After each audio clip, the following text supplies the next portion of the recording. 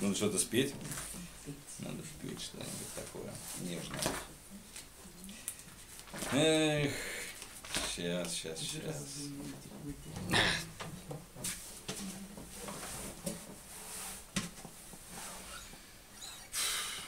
Я должен признаться, что начиная с 24 февраля я ни разу не брал в руки гитару и ничего не сочинил.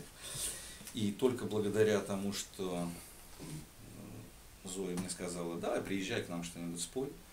Это было единственное, что заставило меня сдвинуться с мертвой точки. И поэтому я немножко еще не очень четко играю, если вы не заметили, то я вам теперь это сказал.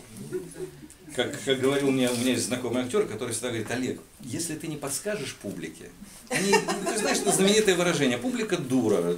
Если ты не подскажешь, они и так будут думать, что все хорошо. Будут думать, что просто ты плохо играешь, и все, и ничего страшного. Чаще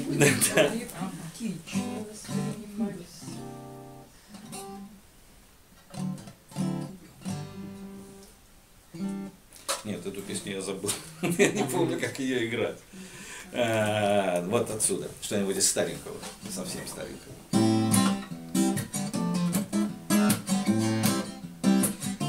Из уренгойских песен. Когда-то в молодости я там работал. Почти 40 лет уже прошло. До сих пор не пойму, почему я попал в этот маленький город. До сих пор не пойму, почему с каждым днем он все больше мне дорог.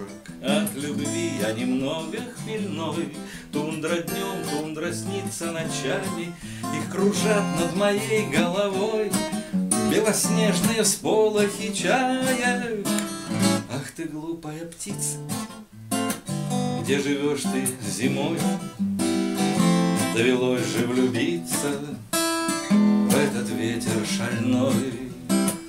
В эти белые ночи, в эти серые дни Прилетай, если хочешь, мы побудем одни.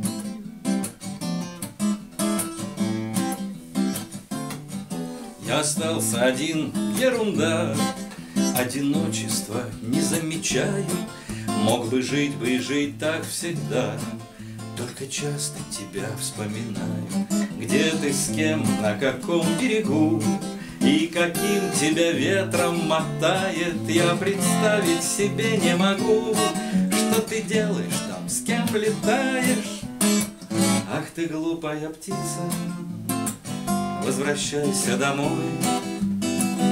Довелось же влюбиться В этот ветер шальной В эти белые ночи в эти серые дни.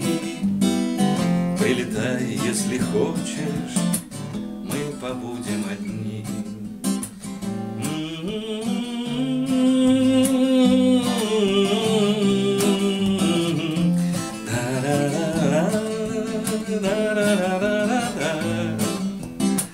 Но все чайки похожи тягой к дому, гнезду.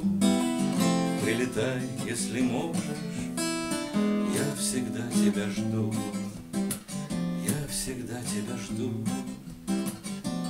я всегда